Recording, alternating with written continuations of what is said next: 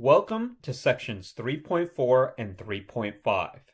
Alright, gentle people, in this lecture what I want to talk about is percent composition. And the idea behind percent composition is you want to see what percentage of your total compound is a certain element. So to give you an analogy, let's go back to building a bike. So if we built a bike, we have various parts that were put together to form our bike. The handlebars, the seat, the wheels, the frame, whatnot. And let's say you wanted to go ahead and assess the weight contribution of each one of the parts of your bike. So what you would do is you would take the weight of each one of those components and divide it by the total weight of your bike. That way you can go ahead and decide if you want to change one part or the other or see where the bulk of the weight is coming from in your bicycle. Let's go ahead and do a similar calculation using a chemical compound. So let's start out with table sugar.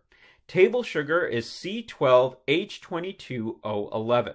So the first thing I want to do with percent composition is I want to go ahead and calculate the formula weight. So what I have here are 12 carbons, 22 hydrogens, and 11 oxygens. I look on the periodic table, carbon weighs 12 AMU, hydrogen about 1, and then oxygen about 16. So I'm going to times the amount that I have to the atomic weight that I find on the periodic table. I get those numbers and then I can go ahead and sum it to get the formula weight of table sugar. So once I get the total weight, what I can do is say how much of that weight is due to carbon, hydrogen, or oxygen. Now the way to do that is I'm going to go ahead and take the number of atoms of that particular element the atomic weight of that element divided by the total formula weight.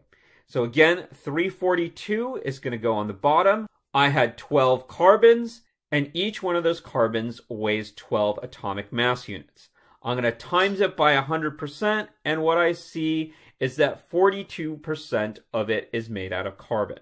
I can do the same with hydrogen. In this case, I have 22 hydrogens, each weighing one atomic mass unit, and again, the bottom is going to be the same, that formula weight of table sugar.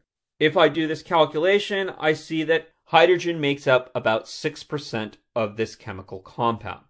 Now, what you guys will note is that if you add up all the percent compositions, you should get 100%. So even if I didn't calculate oxygen like the other two, what I could have done was just take 100 minus 42.1 and minus 6.4, and I should have got somewhere close to the 51.5. With that said, let's go ahead and practice some problems out. Why don't you guys go ahead and calculate the percentage of nitrogen in calcium nitrate? And once you guys are done, go ahead and mark the right answer. Alright, gentle people, the first thing I can do is write down each element inside this chemical formula. So in this case, I have a calcium, I have nitrogen, and I have oxygen in this chemical formula. I can then look on the periodic table and see how much each one of these elements weighs. Calcium weighs about 40.8, nitrogen 14.01, and oxygen 16.00. Then I can go ahead and times it by the amount of each one of these elements that I have.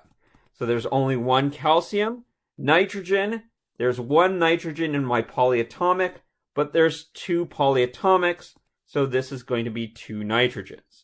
For oxygen, there are three oxygens in my polyatomic, but I have two polyatomics, so a total of six oxygen. I can do my multiplication out, and then finally I can go ahead and add this all up, and I get the formula weight for calcium nitrate.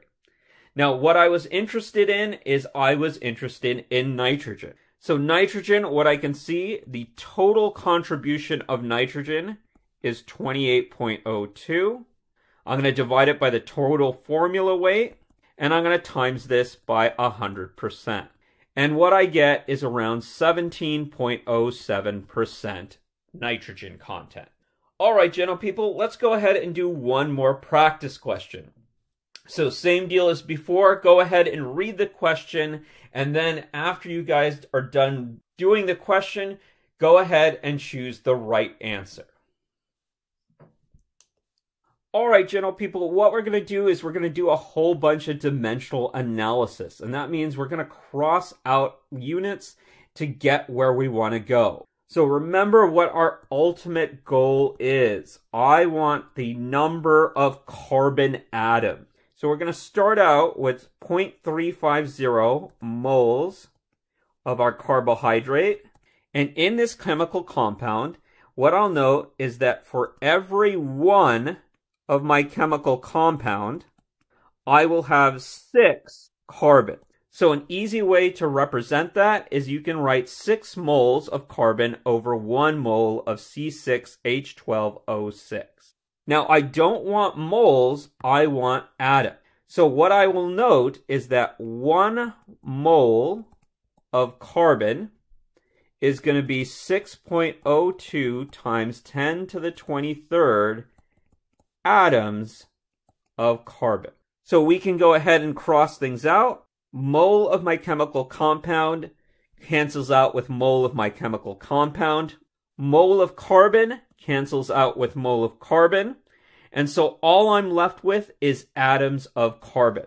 And if we do this calculation out, I get 1.26 times 10 to the 24th atoms of carbon.